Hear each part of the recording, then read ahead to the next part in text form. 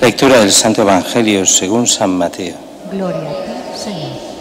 En aquel tiempo dijo Jesús a sus discípulos, si tu hermano peca contra ti, repréndelo, estando los dos a solas. Si te hace caso, has salvado a tu hermano. Si no te hace caso, llama a otro o a otros dos para que todo el asunto quede confirmado por boca de dos o tres testigos. Si no les hace caso, díselo a la comunidad. Si no hace caso ni siquiera de la, a la comunidad, considéralo como un pagano o un publicano. En verdad os digo, todo lo, que atéis, todo lo que atéis en la tierra quedará atado en los cielos. Todo lo que desatéis en la tierra quedará desatado en los cielos. Os digo además que si dos de vosotros se ponen de acuerdo en la tierra para pedir algo, se lo dará mi Padre que está en los cielos. Porque donde dos o tres están reunidos en mi nombre y estoy yo en medio de ellos. Palabra del Señor. Gloria a ti, Señor Jesús.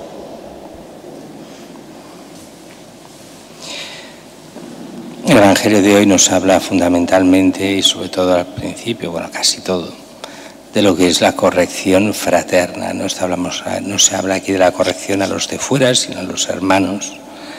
En este sentido, sobre todo de comunidad. Aquí está hablando de las comunidades, de los primeros cristianos. Así, si alguien peca contra ti, se entiende de forma grave, díselo, repréndelo, no te hace caso, llama a dos, no te hace caso, llama a la comunidad, no le hace caso, la, comunión, la comunidad lo excomulga. La comunidad se entiende aquí el obispo, el obispo representante a toda la comunidad, excomulga al personaje que escandaliza y peca gravemente y después de tres avisos no quiere hacer caso de, lo que es el Evangelio, de lo que es la gracia de Dios. De alguna forma esto me recordaba a las últimas palabras de San Maximiliano María Colbe, cuando después de haberse entregado en vez de aquel padre de familia, cuando lo ponen en una minicelda con los otros, con todos los diez allí para que mueran de hambre y sed. Y cuando pasada ya más de una semana, todavía tres están vivos, entra el carcelero para la inyección letal y Colbe le dice, no has entendido nada, el odio solo destruye, el amor construye. Y en efecto esto lo dirá después el carcelero cuando explicarán ya sus memorias, porque solo él lo sabía y él lo explicó. Y tenía razón. Después acabará las últimas palabras de San Maximiliano María Colbe fueron Ave María y ya murió por esa inyección letal. El odio destruye, el amor construye. Y eso es muy curioso como todas las grandes dictaduras o todos los que han intentado actuar como dictadura, aunque no lo sean oficialmente, han hecho lo mismo, los delitos de odio. Precisamente el que odia es el que hace una ley diciendo, los que no estén de acuerdo con mis leyes odian, así que pueden ser perseguidos porque son gente que odia. Y dices, ¿eso? Sí, sí, si yo hago lo contrario o digo lo contrario de lo que dicen oficialmente, es que odio. ¿Eh? Si yo ahora, aquello que está tan de moda, si yo ahora dijese que soy una mujer y alguien me contradijese, me odia, ha de ser juzgado. Dices, pero si es evidente, es como la misma estupidez que yo dijese ahora, bueno, yo soy médico y me pongo a ejercer de médico, aunque no soy médico iré a la cárcel. ¿Quién ¿Por qué tengo que ir a la cárcel? ¿Por qué me lo han de prohibir si yo me siento médico? Ah, pues eso que es tan evidente que es una estupidez. Pues con los delitos de odio está pasando lo mismo en este mundo extraño en el que estamos viviendo y todo vale para el delito de odio.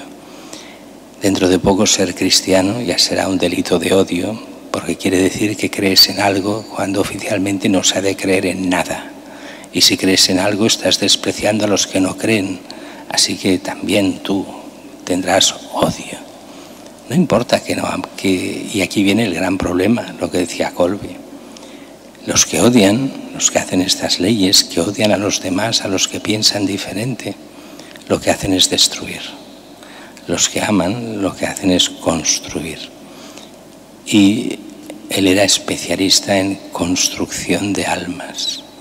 Recordemos todo el apostolado inmenso que hizo con la milicia de la Inmaculada, cómo estaba, cómo tenía esa estación de radio, esas publicaciones que los nazis le obligaron a semicerrar y él estaba preparando ya en mente la primera televisión católica cuando aquí en España todavía faltaban pues casi 20 años para que hubiese televisión. Y él estaba ya organizándose para hacer una televisión católica en Polonia. Era, y no había televisión todavía, fue, bueno, en Alemania sí, Polonia no, Alemania es el primero que hace las primeras televisión en Europa y lo hizo, si no recuerdo mal, el año 36 y aquí estamos hablando ya del 39-40. Para nosotros los mártires son ejemplo de dar la vida por Cristo. Ellos son los que nos dicen, oye, que la fe lo vale todo, porque la fe es la que nos abre las puertas a la vida eterna. La vida eterna es la importante, la de aquí es una preparación ante Dios para ver si de verdad lo queremos o no, para ver si de verdad queremos ser santos o no, si aceptamos a Cristo y así aceptándolo estar con Él. Los mártires saben muy bien que renuncian a todo por lo más importante, el todo, Cristo nuestro Señor.